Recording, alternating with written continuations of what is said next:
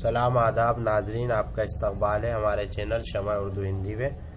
अब है बहुत इम्पोर्टेंट सवाल, सर सैद की ज़बान पर बहस कीजिए, आ जाता है अक्सर।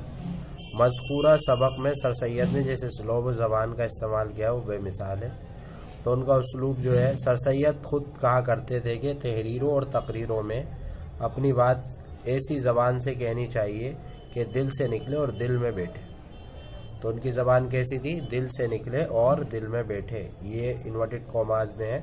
उन्हीं के लफ्ज़, अल्फाज को हूबहू बयान कर दिया गया इस मजमून को पढ़कर उनकी कौल की सच्चाई का अंदाज़ा हो गया होगा।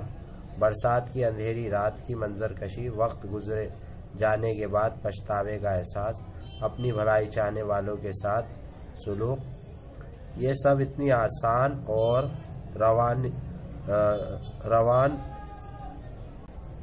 रोज़ाना की बोलचाल की ज़बान में समझाया गया, गोया, ये हमारी ही कहानी है। मुख्तसर ये हम कह सकते हैं कि सर सैद की ज़बान नहायत साफ़ सुथरी सादा और सलीस है उसलूब की खूबसूरती भी बदरजा अच्छी है। उत्तम है, मौजूद है। वह वह अपना बहुत वो अपनी बात बहुत मुनफरद अंदाज में कहते हैं, जो दिल को छू लेती है। अब एक सवाल आता है कि सर सैद के उसलूब पर रोशनी डाली सर सैद पहले नसर निगार हैं। इसको हम अगली वीडियो में कवर करने की कोशिश नहीं करेंगे, बल्कि अभी कर लेते हैं, क्योंकि जो है दोनों सवाल मिलते जुलते हैं। सर सैद की ज़बान और सर सैद का उसलूब सर सैद पहले नसर निगार है, जिन्होंने अपनी तहरीर को तकल्लुफ़ और तसन्ना से पाक रखा। ठीक है यानी बनावट से पाक रखा। उनका मानना था कि उर्दू में अरबी और पारसी के अल्फाज से ज़बान बोझल हो सकती इसलिए उन्होंने शुरू से इस बात का ख्याल रखा।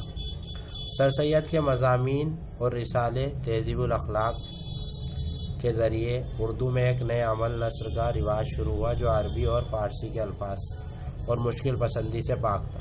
सर सैद अपनी बात सादगी और बेतकल्लुफ़ी से कहते थे उनका मकसद था कि कौम की भलाई के लिए जो पैगाम पहुँचना है, वो सादा और आम जबान में बयान कर दिया जाए।